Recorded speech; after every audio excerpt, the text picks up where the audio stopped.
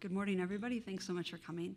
Um, I am going to be talking to you today about a story involving the gut microbiota, but I want to start off by telling you what my lab studies and how we very accidentally got interested in this. So um, we're interested in the basic idea that sensory receptors play important roles outside of what you would normally think of as sensory tissues. And what I mean by that are things like taste receptors and olfactory receptors, the smell receptors in your nose. We think of them as mediating the sense of taste and smell, but it turns out that they're really just really specialized chemical detectors. So if you think of them as specialized chemical sensors, you can imagine there's a lot of other places in the body that need to detect specific chemicals at specific times. And it turns out that taste receptors and olfactory receptors and nose receptors are also found in lots of other tissues where they play really interesting roles as chemical sensors. So we're interested in a role for um, these types of sensors in the kidney in particular because the kidney, because I'm trained as a renal physiologist, so um, I'm rather biased to the kidney anyway. But the kidney is also a main regulator of homeostasis in the body. It filters your entire blood volume many times per day, so it seemed to us if you wanted to have an inline chemical sensor system, the kidney might be a logical place to put it. So we're interested in looking at potential roles in the kidney. And what I'm going to talk to you about today is a particular olfactory receptor um, that's called olfactory receptor 78. They'll have really boring names, unfortunately, and a role that we think that is playing in the kidney um, with regards to helping to mediate blood pressure regulation. And this story is kind of interesting because we started out studying um, olfactory receptor 78 in the kidney, but we learned that we were um, actually studying the role of olfactory receptor 78 and how it interacted not only with the kidney, but with blood vessels and with the gut microbiota, or all the bacteria that um, live inside of you or on your skin and in different orifices. And actually, it turns out they play really important roles in interacting with the host physiology to change some things about how the host interacts. So when I talk about these gut bacteria, I'm referring to the fact that um, we are colonized by bacteria that live in our guts, the, the, great majority of them in our guts, but as you can see on this slide, they're also um, on our skin, in our nasal and oral cavities, um, they're all over the place. There's also viruses and fungi as well. And it turns out that these aren't just passive passengers that are along for the ride. They actually play some really interesting roles where they interact with the physiology of the host, and there's actually a much more symbiotic relationship than we had appreciated previously. Um, I want to point out that this is a really new and emerging field, so you might have heard a lot about it um, recently, and we're starting to learn a lot about it, but there's a very much we don't know. And just to illustrate that, this is a graph of the um, number of papers per year published, um, scientific papers published in PubMed that have microbiota as a keyword. And you can see that this is largely flatlined until about 2011 or so when it has virtually exploded.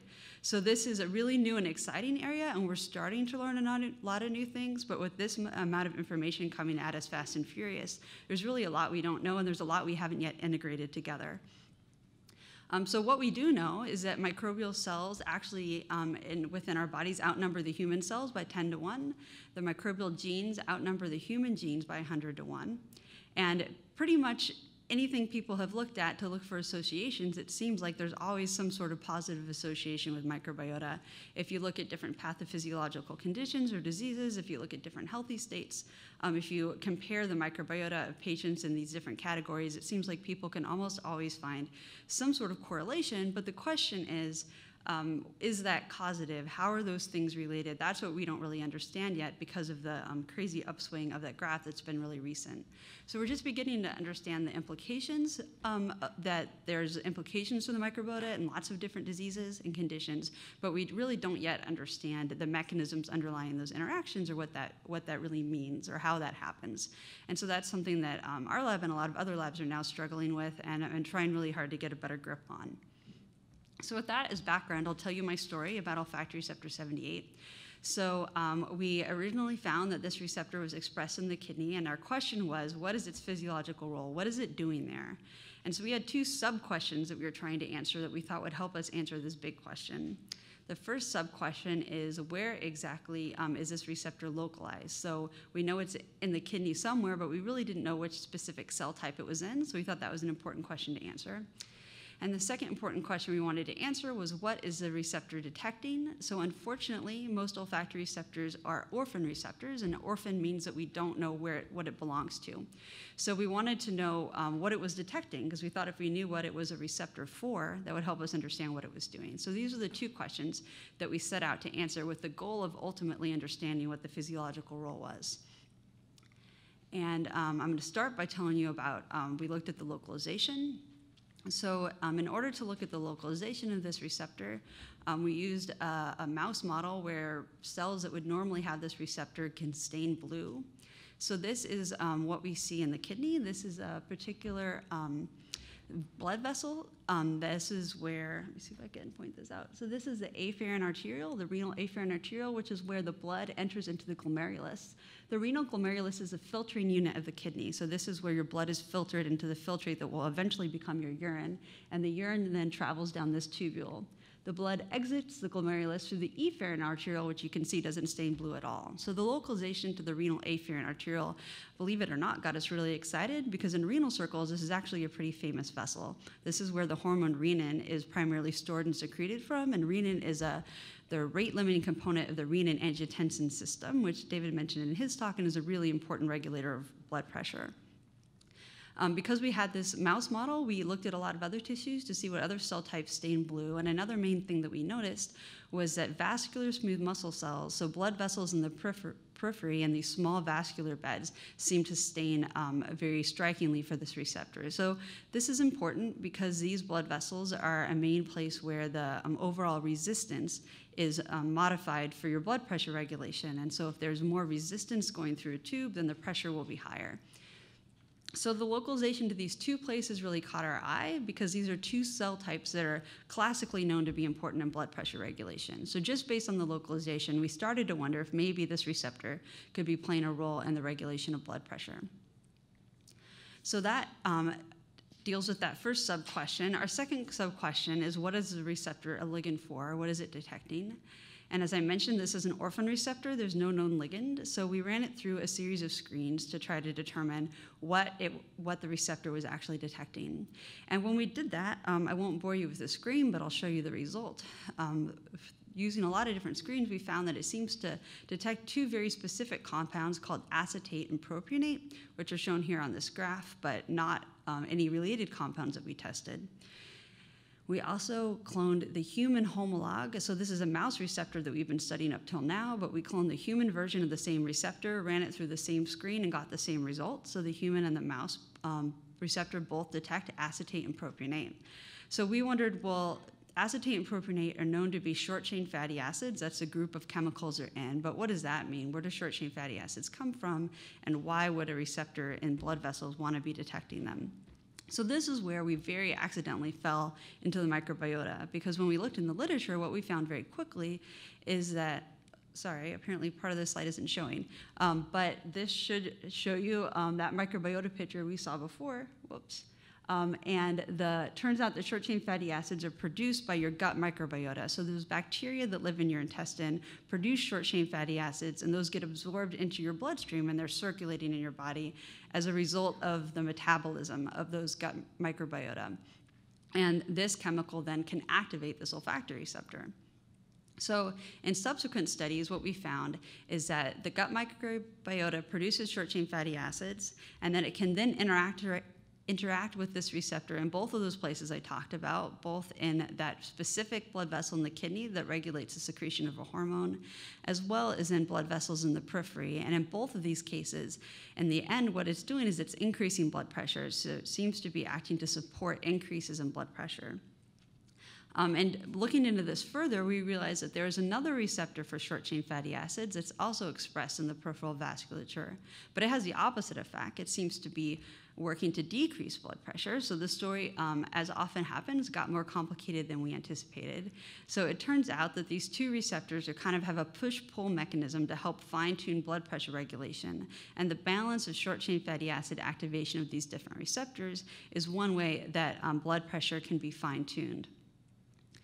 Now, um, lest I be accused of oversimplifying this for you, I want to point out that blood pressure regulation is classically known to be um, very complicated. Um, oh, sorry, I guess I have that slide next. Um, so, some basic background about blood pressure and hypertension, first of all. So, about a third of American adults have hypertension or high blood pressure, another, another third are prehypertensive. So, this is um, a disease that affects a very large proportion of the um, of American population and, and worldwide as well.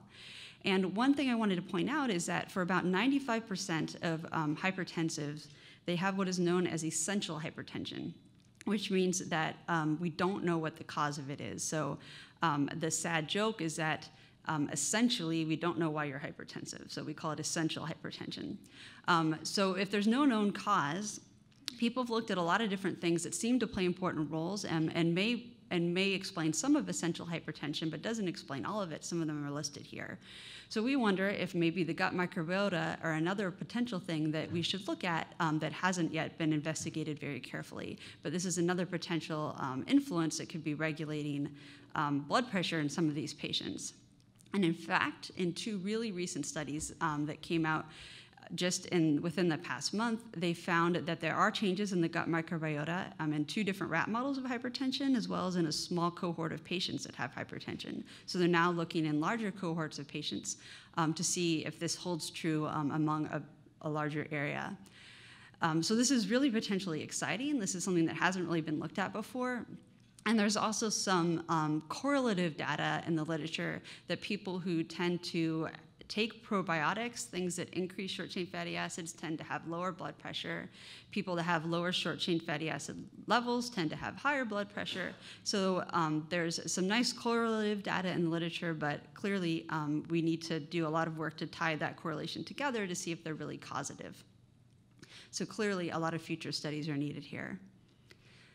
And then finally, now I think I have the slide showing that blood pressure is quite complicated. Sorry, that was out of order. So this is a slide that Arthur Guyton um, very famously made in 1972. I think he published it in a journal and it's actually a fold out page. So he tried to, because it couldn't fit on one journal page, so he tried to diagram everything that regulates um, blood pressure. And you can see that it's this incredibly complicated circuit diagram. So um, we certainly don't understand all of this and we certainly don't completely understand how our story fits into here. But we think that maybe we've added a tiny little node onto Arthur Guyton's um, famous diagram and now we have to understand how that interacts with this larger system um, and how, um, we might be able to play with the tiny little node that we found in order to change blood pressure regulation. So what I've shown you today is that short chain fatty acid activation of two different receptors is a really novel pathway through which the metabolic production of your gut microbiota can affect the blood pressure of the host organism, which would be you and I. Um, with that, I'd like to thank people that are involved in the work, um, and I really wanted to especially point out funding and um, thank all of you. So we really depend on um, public support for um, NIH dollars, and I think that the press is a really important way that we um, have to try to continually um, convince the public that this is a really good use of their tax dollars. So we really appreciate all of your efforts in um, helping us communicate that to them so they understand what we're doing um, and that we're trying to really advance science and medicine. And with that, I'll thank you for your time.